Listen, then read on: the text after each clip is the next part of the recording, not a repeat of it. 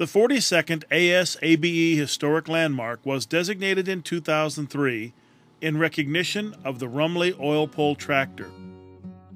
Stationary steam engines provided early mechanical power on farms in the 19th century.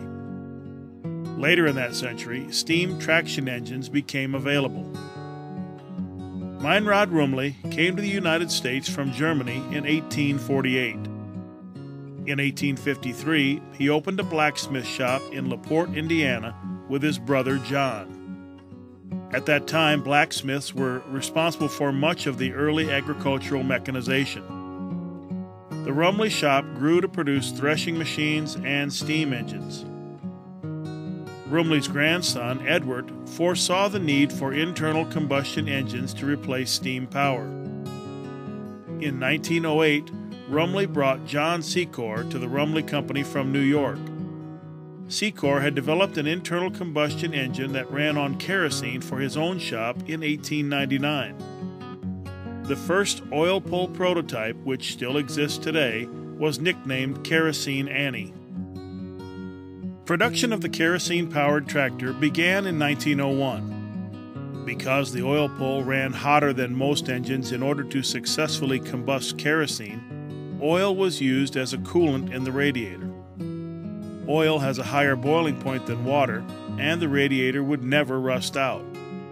The first field trials were an immediate success, and the plant opened on February 21, 1910, geared up for producing oil pulls by the trainload. Edward Rumely estimated that it would take 50 men and 150 horses to match the productivity of three oil pull tractors. In 1911, a special plowing demonstration was held at Purdue University in which three Rumely oil pull tractors pulled a specially built 50 bottom plow that cut a 60 foot wide swath. That configuration plowed at a rate of 14 acres per hour. In 1910, gasoline for automobiles cost 25 cents per gallon. Kerosene was a byproduct of the refining process and sold at 5 cents per gallon, making it an attractive tractor fuel.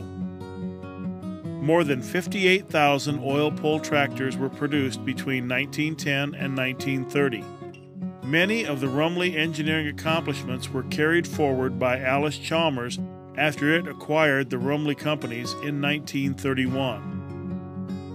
ASABE dedicated a plaque commemorating the Rumely oil pull tractor as an historic landmark in 2003. The Rumely accomplishments were recognized by ASME and the Indiana Historical Bureau in LaPorte at the same time.